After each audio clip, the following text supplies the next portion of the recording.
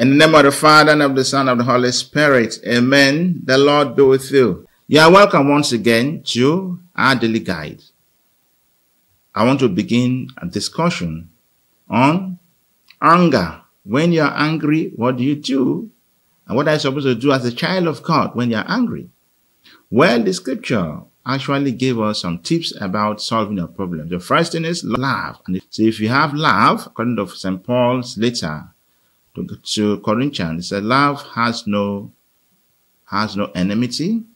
Love is patient. Love is kindness. Love does not see the sin of your brothers and sisters. Brother, love takes things for granted. And so we should be able to practice love. And if you have love in you, anger will be something very little for you to handle. However, the act of being angry is general because as we grow up, even the child gets angry, okay? And begin to cry for his mother to pet him or her. So it, these are human tendencies we cannot avoid in life. So where two or more people are gathered, there is always peace and there are bound to be conflicts. First Corinthians chapter 6, St. Paul stated this. Is one of you with a complaint against another so brazen as to seek judgment from sinners and not from God's holy people? Do you not realize that the holy people of God are to be the judges of the world? And if the world is to be judged by you, are you not competent for petty cases? Do you not realize that we should be the judges of angels, then quite certain over matters of this life? But when you have matters of this life to be judged, you bring them before those who are of no account in the church I say this to make you ashamed yourselves. Can it really be that it is possible to find in the community one sensible person capable of deciding questions between brothers? Very serious case. You know, even when Christ talked about anger and conflict between your brothers and sisters, what the resolution Christ gave. Christ said, if you are angry with your brother, you'll be in trouble, rather. Settle with him to the point that even when you are going to worship God, he said, leave the offering there. In the Gospel of Matthew chapter 5 verse 23, he said, leave your offering there before the altar. Go back and settle with your brother first before offer that item to God.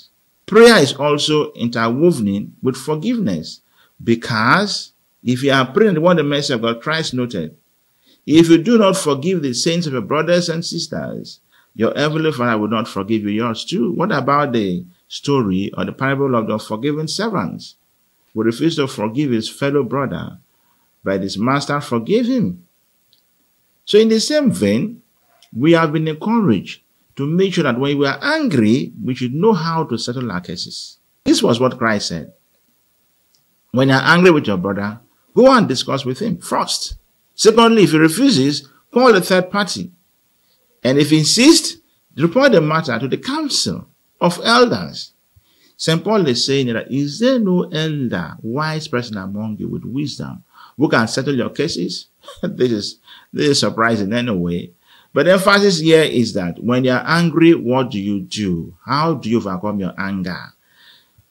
From the look of things, I do observe that people transfer aggression to other people. Maybe people have family life problems or their personal problems in life.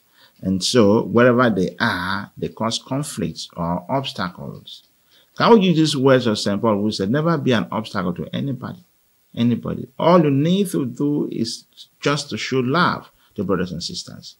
Well, anger seems to be an expression of your inner feelings that hurt you. An expression of your inner feeling that hurt you. But sometimes even St. Paul, while talking about anger, he said, you shouldn't allow the sunset, the evening to make you still angry. According to St. Paul in Ephesians chapter 4 from verse 26, he said, even if you are angry, do not sin. Never let the sun set on your anger. Definitely, if you are angry, can you not sin or sin? It is possible. If someone is doing something against you and is always stepping on your toe, you have the right to tell him in anger that, look, I'm annoyed over this.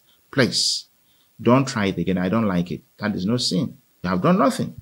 It is when you act Sometimes you hear some words from people, rumors, given that your brother was backbiting you, you got angry and then you went to the person and began to abuse the person. You don't know whatever your brother discussed with, or your sister, your brother discussed with that fellow you are insulting, or you, you are talking to. What you need to do is to be polite enough to tell somebody, I am aggrieved, I'm annoyed. That is no sin. It is when you react too much. So Aristotle said, in one of his writings, he said, if you are angry, it is easy to go into passion, either to love or to be in anger. But if you are angry, be angry to the towards the right objects at the right time, at the right extent. Assuming you are angry in the morning and someone insulted you, are angry in the morning or called you fool or certain thing, you became aggrieved and you're angry in the morning, and up till the afternoon, you might be reporting that to somebody, this person, I must insult him. Sometimes some marketers, or you, someone offended in the market or in the office, and they come out of the room, start talking about this issue with annoyance. Until you are disturbing yourself, you hurt yourself psychologically. Of course, the person you are talking to is not even there anymore, but you just came to the house and started banging at anything. Any child will meet you, you insult that person, you kick the person right and left because you are angry from the market or you have transferred aggression. And so when you are angry, get that anger towards the right objects at the right time at the right extent. This is where I will stop. I'm going to take other volumes about anger, how to deal with anger when you're angry, considering the scriptural text and moral principles in life. I am Reverend Father Peter Omgbu with you again once more on Daily Guide. Please follow me every day and subscribe, ring the notification bell, and thumbs up if you like this video. God bless you all. In the name of the Father, Son, and the Holy Spirit. Amen.